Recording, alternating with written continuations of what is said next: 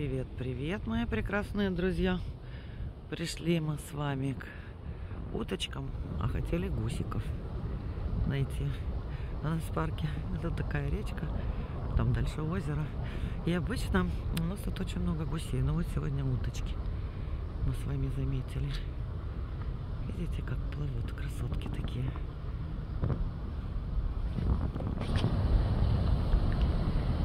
Ой, они все к нам, посмотрите. Их, наверное, тут кормят. Ой, как здорово. Вы помните наши источники энергии? Природа, искусство и друзья.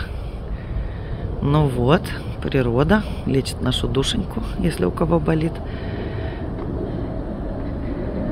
Вот такие красоты. А самолеты тут у нас летают вовсю. Вот она опять красавица. Ой, в связи с полетами.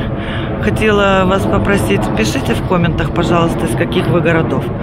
Э, близких друзей я знаю, все у меня прекрасные друзья.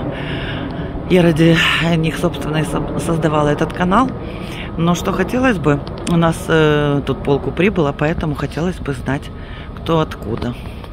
Будем радоваться и быть счастливы вместе. Вы знаете, в мире вот сейчас такое творится. Кстати, в этой части мира в Северной Америке все типа тихо, спокойно.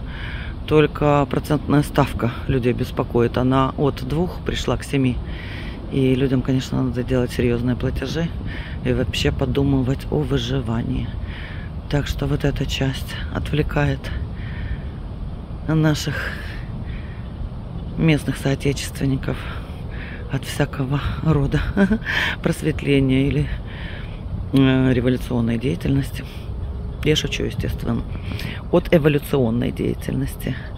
Что хотела вам сказать, знаете, мне на ум пришло, вот когда получать надо driver's license, то есть на права, а, обычно нужна справка о том, что вы вменяемы от психиатра, да?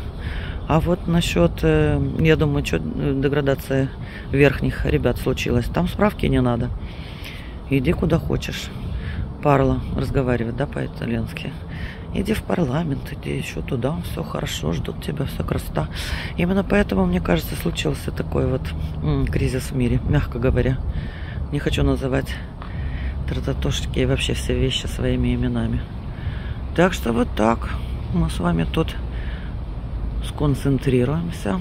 Расслабление через, через концентрацию.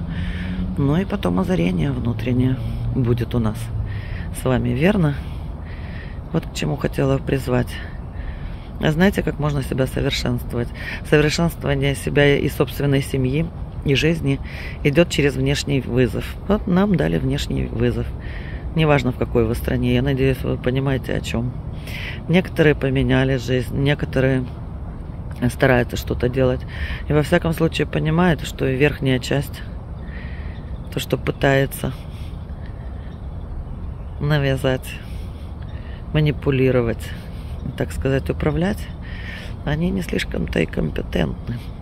Посему, глядя на уточек, давайте красиво-красиво помечтаем, успокоимся, глотнем солнышко.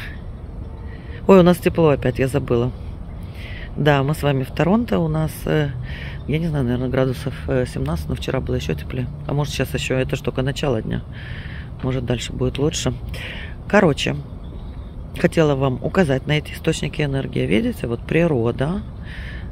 Я тут еще с подружками. Это друзья. И творчество искусство. Вот попытайтесь. Не отвлекайтесь на то, что вам там внушают. Будьте невнушаемы. Слушайте свое сердце. Обнимаю вас любовью. Чао-чао, мои прекрасные друзья. Ой.